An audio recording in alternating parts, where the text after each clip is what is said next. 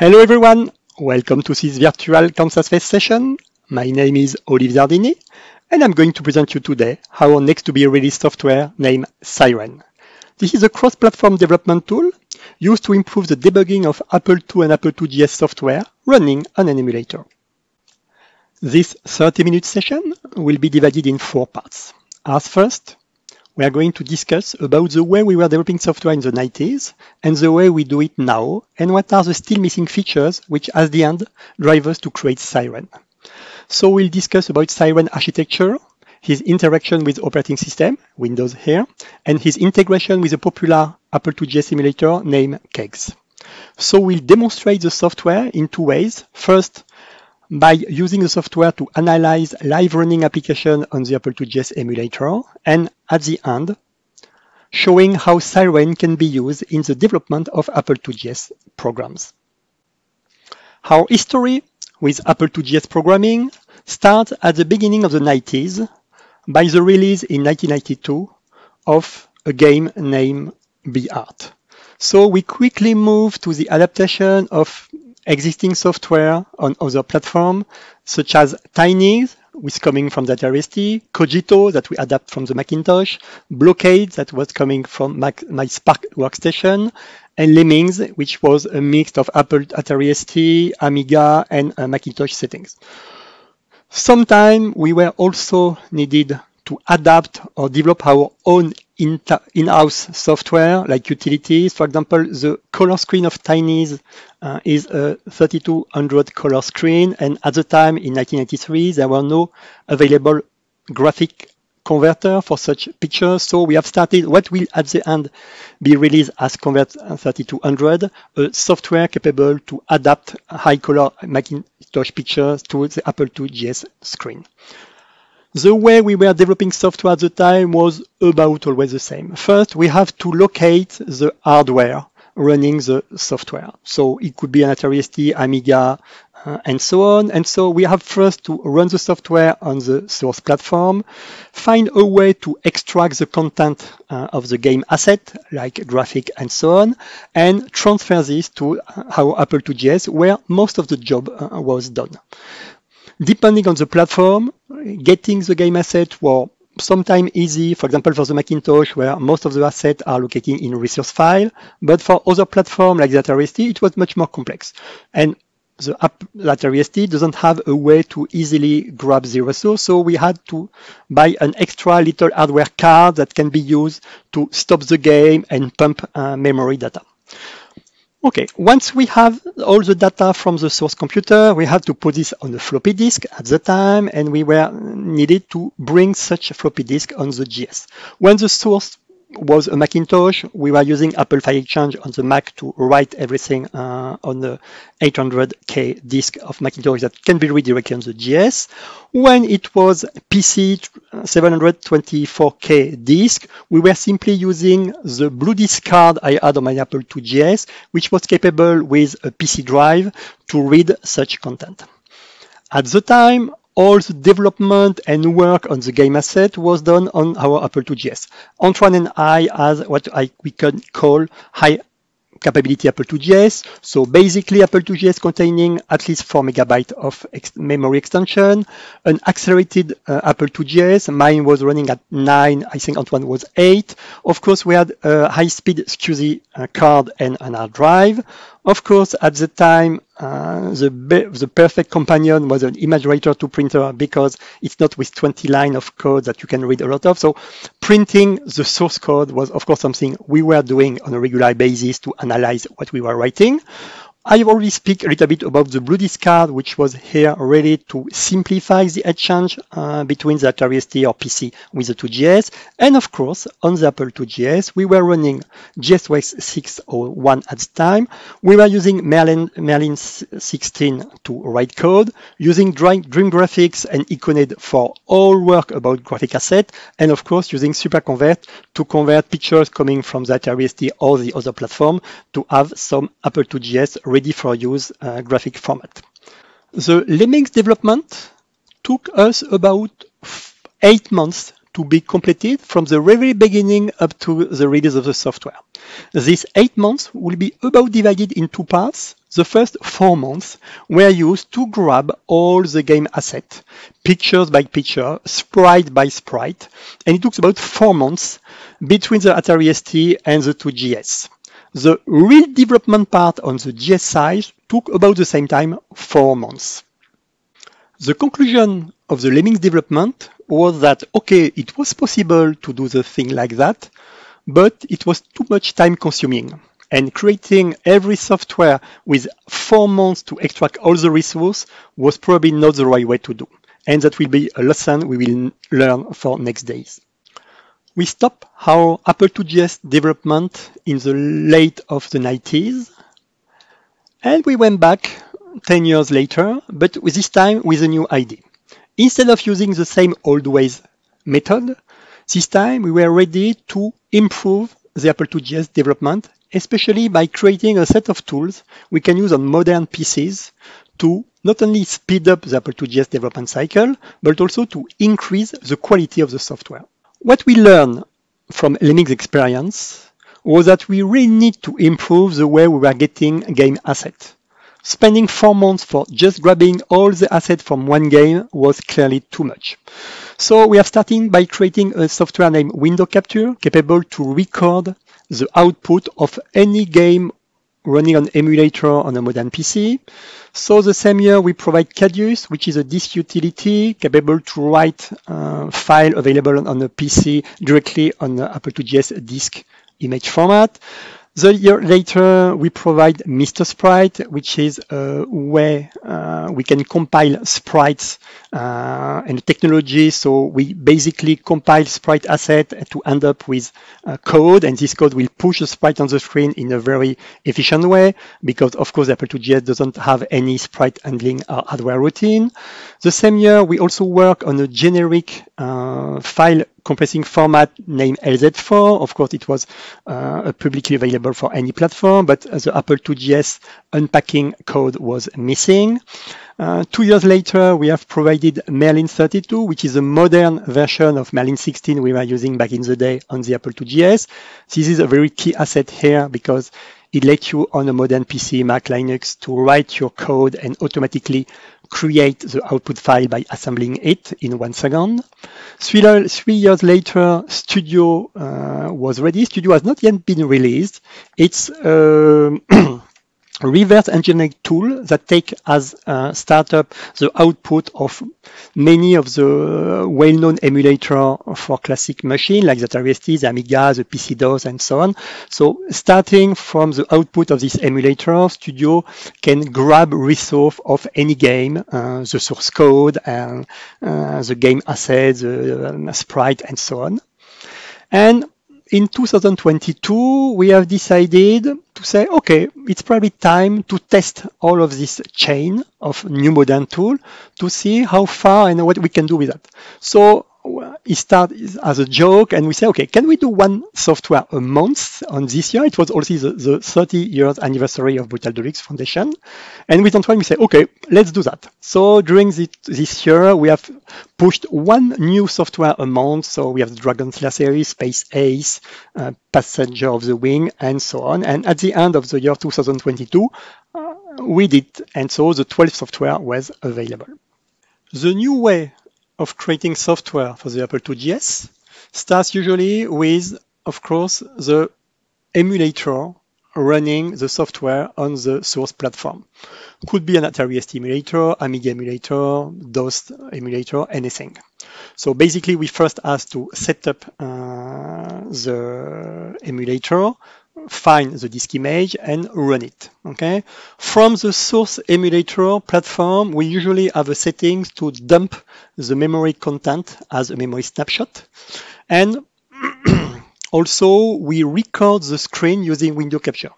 So with the capability of Studio to analyze the memory snapshot uh, of the uh, platform, plus the window capture uh, capable to uh, record the sprite animation settings and so on.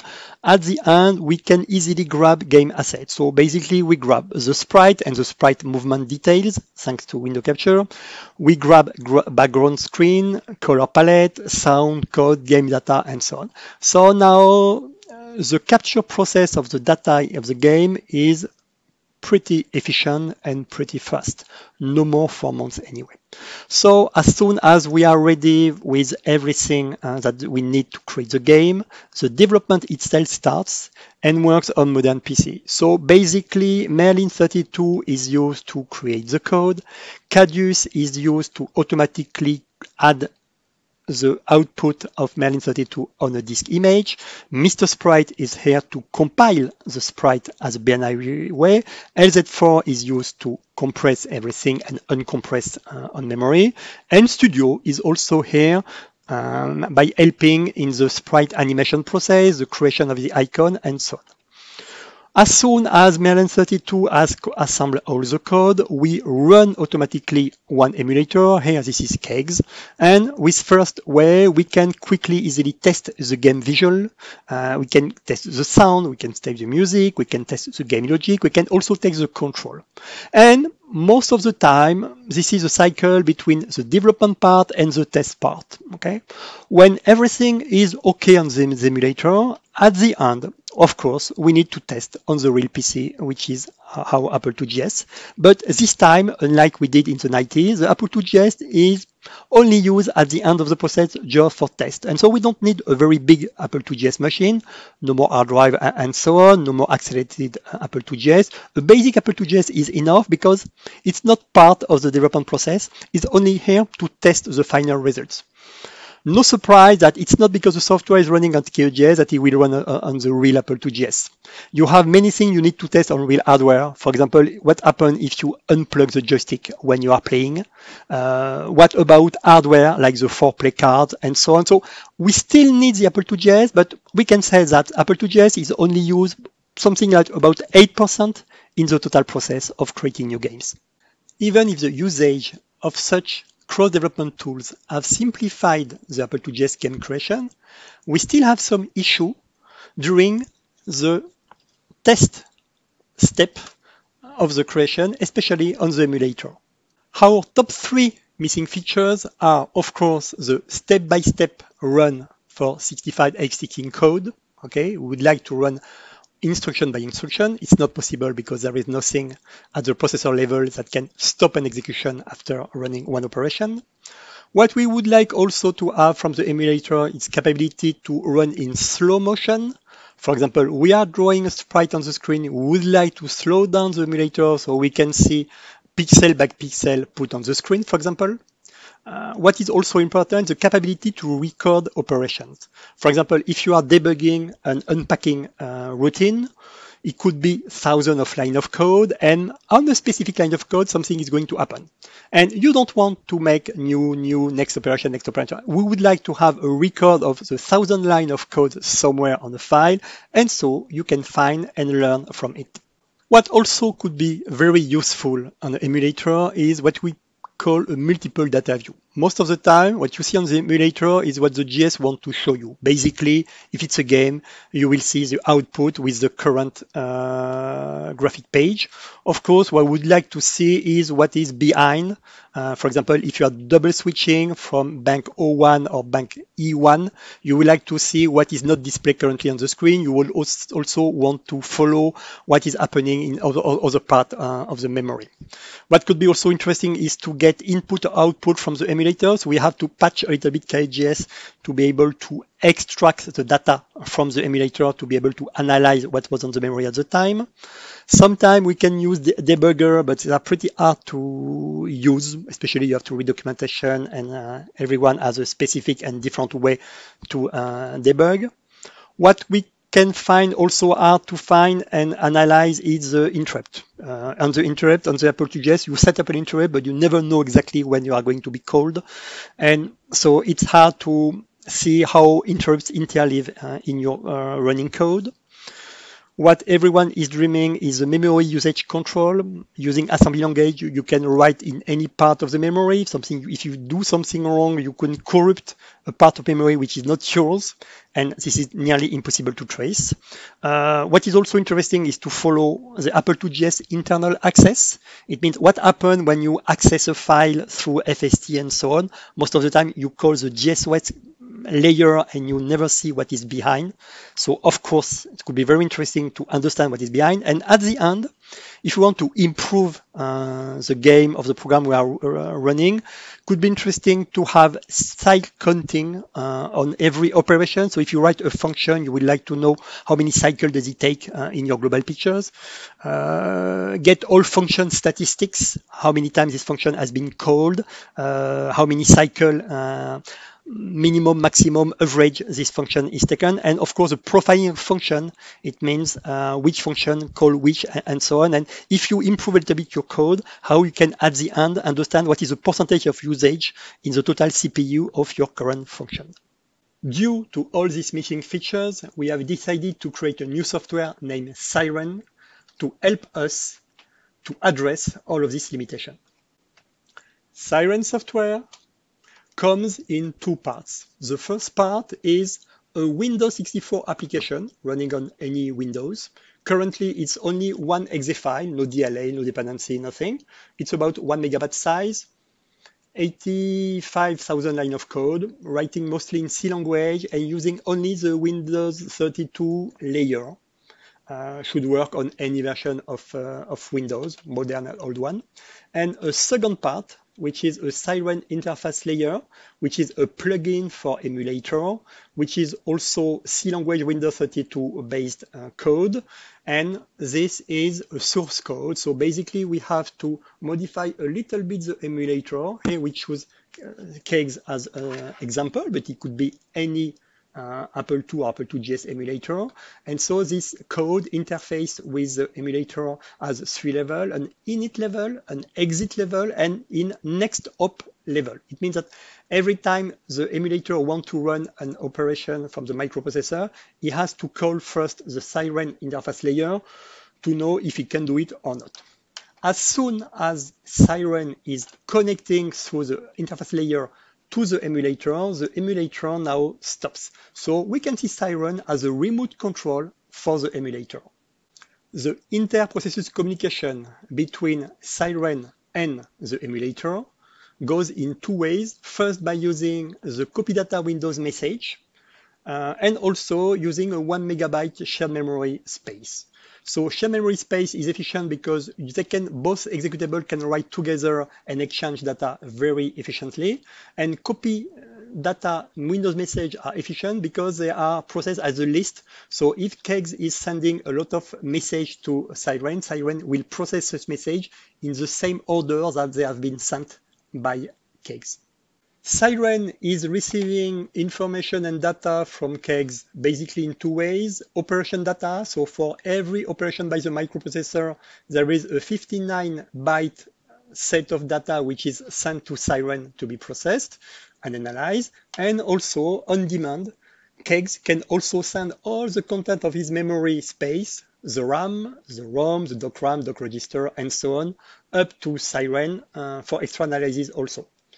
Cyrene interface layer take care of the breakpoint uh, engine, which is running directly in the same space than the kegs in order to uh, enhance uh, the processing of the breakpoints. The breakpoint definition are sent by Cyrene uh, uh, on the one megabyte uh, shared memory.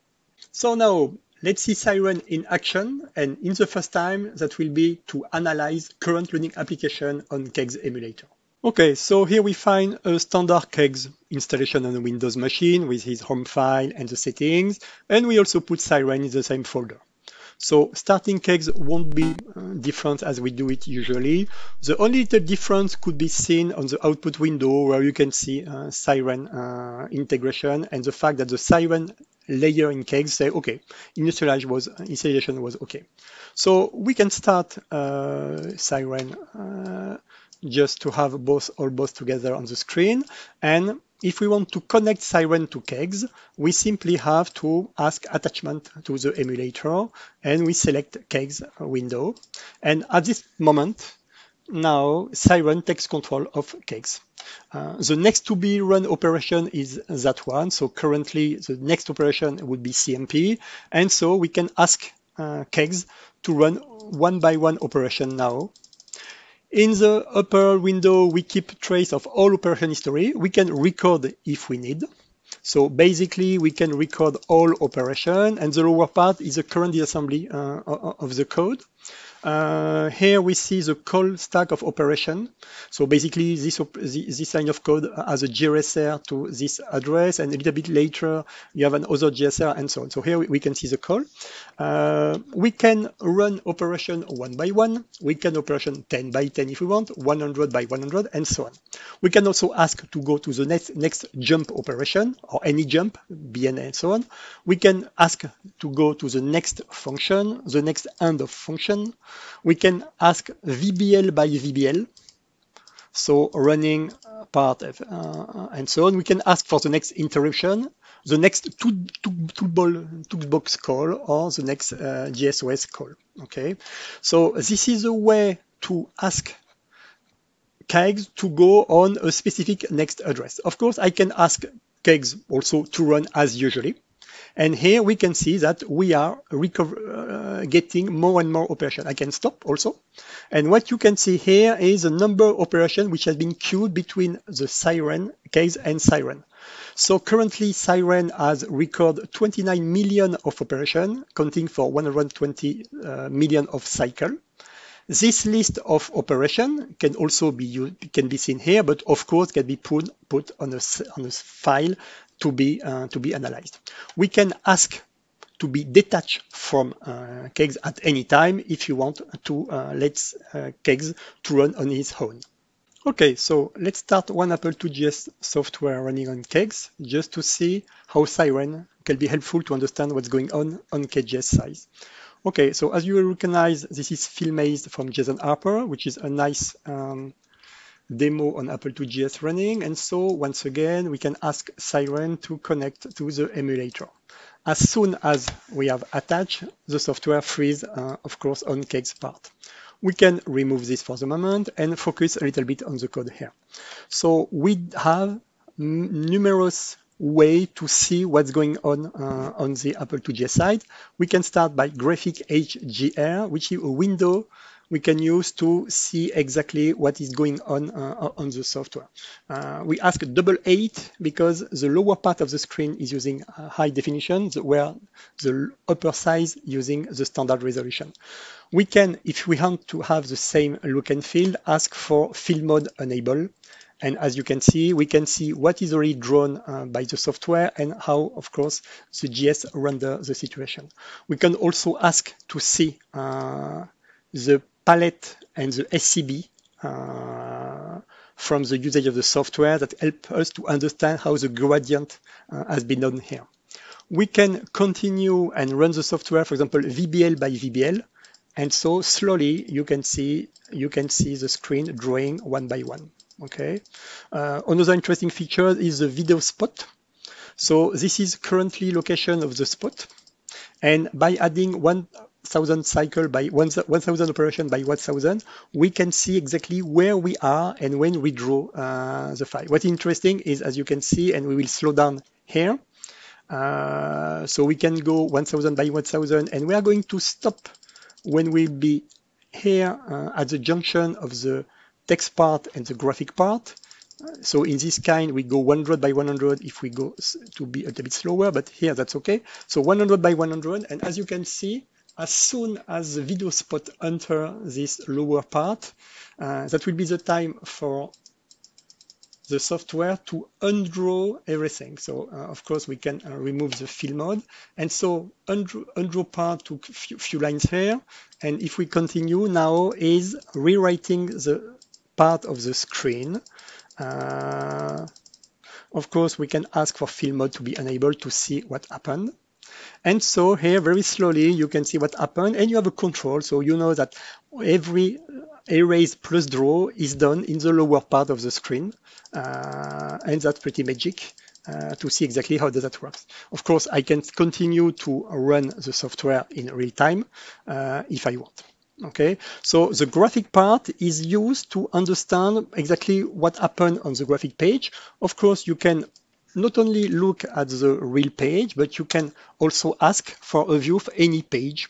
Uh, basically here, this is the current data located uh, on E1, but of course, as we have seen, most of the draw probably are done directly on E1 and not O1. Okay, uh, we have many ways to see what happened also. So if we were looking at text page, we could also ask for the text page to be displayed, but in this case, there is nothing because we are not using a, a text part uh, software we can ask view on specific part of the memory. So at any location of the memory, you can ask for something. Uh, if you want to have a clear idea of what is displayed in the current page, uh, you can ask and you can, of course, adapt the number of uh, picture byte uh, per line and, and so on during your screen.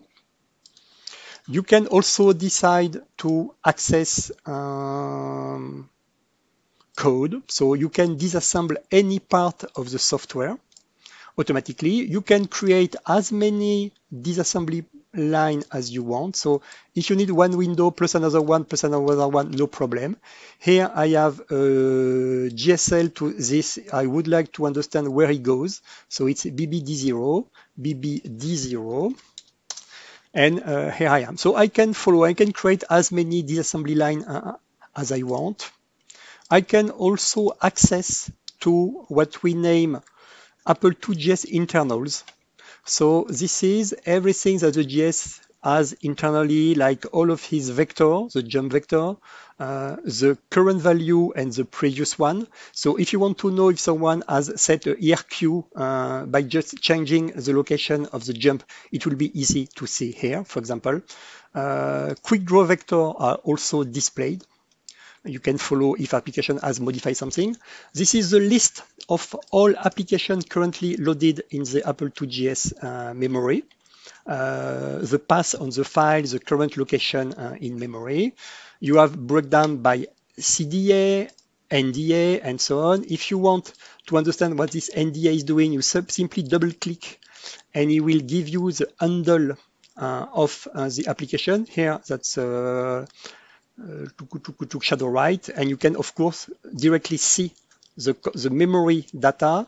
Uh, you can save or you can disassemble also uh, if you want the code directly. You have the list of all init, all driver, all FST, and every memory, every handle of memory is uh, displayed. You have the purge, the free handle, and so on. So if you want to follow one handle, that's pretty straight. You simply double click. You have the handle information here and a pointer to the data. So data can be disassembled uh, automatically, and we, we can see uh, code here, and automatically it recognizes, of course, uh, Apple2GS call. Uh, what is interesting also is we have uh, another layer named memory map. Memory map is Apple2GS memory. Uh, from bank one to uh, as many as you have. So I says it's four megabyte here. And every part of memory receive a color based on the kind of operation that took place. So basically write means uh, writes, red means write, for example. And so we say E1 2000 is of course a graphic page. So we see a lot of write on the graphic page. Uh, we can reset, of course, at any time. So if we run it again a little bit the software is running and in real time you see the red part, the read-write part, the executable part to run. So what we know is currently the software is running in this part. And you can see if I put my mouse, it told me that this part is uh, is by FilmMaze, which is our current software. If I go and I select FilmMaze, automatically all the FilmMaze location goes in dark and so I can see exactly where I am. This is executable plus write, so there is auto modification code. Most of the code is here. We can see right directly to the, um, the graphic page. So we have a lot of what we name views that let you see, of course, if you are more in the sound part, you, can, you have access to the uh, DOC RAM. Uh, if you care about the DOC register, you have the value in real time of a DOC register and so on. So part of the analyzing is uh, controlling the application uh, line by line, group of line by group of line, or by VBL, for example. Uh, and you can record all operation, uh, and you can view in real time exactly what happened inside the Apple IIgs memory. At any time, you can also save a memory snapshot of the current 4 megabyte of the Apple IIgs emulator to a file. So later you can reload this file uh, into Cyrene, or you can use this file to be analyzed by other tool. Studio is also one of the tools we use to interpret uh, the snapshot data of the Apple IIgs memory. So after this short presentation analyzing live application, now let's see how Cyrene can help in application development. Okay, so let's start to use Cyrene uh, now with the software we have written named Apple IIgs Karate. The main difference between this demonstration and the previous one is of course that for this program we have the source code. So let's start the software. Let's go computer by computer and let's find what we can do. Okay, I would like to put breakpoint uh, on the software and I would like to stop the software. So let's connect first by default is stop where we are, okay? Now we have the source code and we have the symbol file. So we ask Cyrene to load the symbol file of Apple IIgs Karate created by Merlin32. And as soon as I do that, I can see now I have labels everywhere. And of course, the source code is easier to read. What I would like to put is two breakpoints. One for the getRandom function. I would like to be stopped every time this function is called by the software. But also I would like to know the value returned by this function. And we saw that output number is sent to A accumulator. So around GRN exit label, I would like to print the return value of the accumulator. For that, I simply need to enter in the breakpoint part, create a new breakpoint based on symbol. Let's select the get random number name and add a get random number here I want to stop on execution on this label. Okay, that's perfect. And I'm going to enable the breakpoint. I'm going to create a second breakpoint, this time on the GRN exit label. So once again, let's pick it from here, GRN. GRN. GRN exit, that's the one. And this time on execution, I don't want to be stopped, but I would like to print something. So let's put GOID, which is a global operation ID, and I need to put a random number output, and I put the random number into A accumulator, I put this in bracket, just to display it uh, in the output uh, location. I'm going to enable this breakpoint, and we are ready. Let's run kegs. Let's run the game.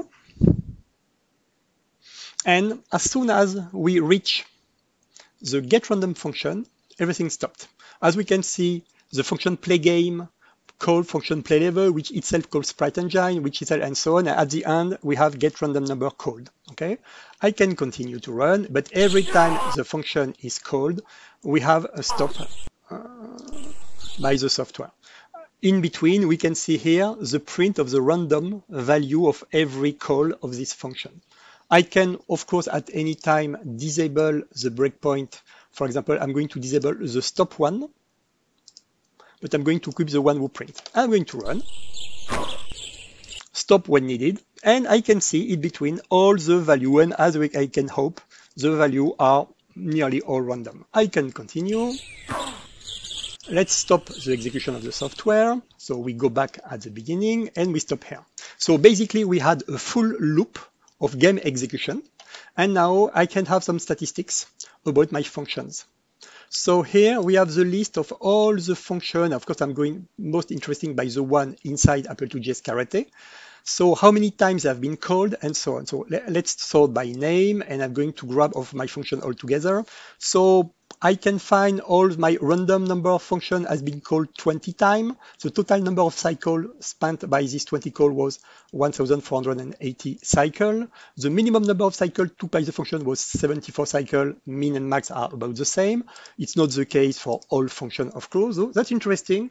You know how long, how many times every function has been called, how long it, it took, and so on. Another interesting part is what we name the profiling. So basically, we were in the root process here, and we have called the play game uh, function. So, and for the moment, the total percentage size time was uh, zero simply because we didn't have uh, play a lot. But if we enter, we have the number of time uh, we run. Play level was the one who took uh, the more time and so on. So play level itself call uh, get index, load, unpack, and so on. So you can follow all the sprite engine uh, has been called three times and has 27 lower function and so on. So you can clearly go and find which are at every time the function taking the much number of cycle and the percentage. Of course, you can save this as a tree for a better analysis. Okay, even if the software looks completed and runs, runs fine, there are few things that left to do before releasing and sending it to everyone. So basically, few things are missing. For example, the capability for Cyrene to send data, uh, especially if we modify uh, the memory and so on uh, back to Kegs. We would like also to track the doc-ram read and write, especially the memory map uh, where we have the colors. We don't track them now. We would like also to export the profiler information as a tree uh, or graph. Uh, could be interesting visually, of course. Uh, I have some work to do on the UI itself. For example, let the window to be resizable and so on. I need to improve a little bit the disassembly part. We'd like to bring much more built-in Apple II symbol so we can navigate in the source uh, of the ROM more easily. Uh, could be interesting to have a dedicated uh, version of the memory map for the Apple II with a 128K with the um, language card bank and so on. Currently, we see the memory as Apple II just sit. Uh, could be interesting to improve a little bit the kegs integration. For the moment, I have not yet discussed with Kent uh, about the way we did it. So probably we could probably make uh, some progress in this part. And of course, we need to write the documentation, create a web page on our website for the product, and to publish, uh, as usually, the software and the source code. Thank you uh, for listening, and we are going to see you very soon in the Q&A.